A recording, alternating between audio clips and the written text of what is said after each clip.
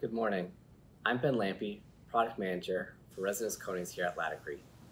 I want to take some time this morning to talk to you about CSP, or Concrete Surface Profile. Surface prep is one of the most important aspects of any coating job. It can often be the difference between success and failure. As such, you're often going to hear the term CSP referenced.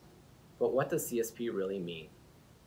CSP, or Concrete Surface Profile, is a measure of the surface roughness as defined by the International Concrete Repair Institute. CSPs range from a CSP of 1 to a CSP of 10, with the CSP of 1 being the smoothest profile and gradually increasing in roughness till you reach a CSP of 10, which will be the roughest profile. ICRI uses rubber comparator chips like these below to define CSP. These are great tools for use in the field as they give easy visual and tactile confirmation that you've achieved the correct CSP. As part of your surface prep, you're going to want to look at what CSP is required for the coating you're applying. Profiling to this CSP will ensure you have good mechanical adhesion between the substrate and the coating.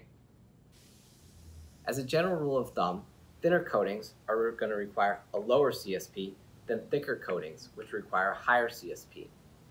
For our coatings, we recommend profiling to a CSP of 2 for polyaspartics, a CSP of 3, 4, or 5 for moisture vapor barriers or epoxies, and a CSP of 4 or 5 for our thicker urethane cement systems.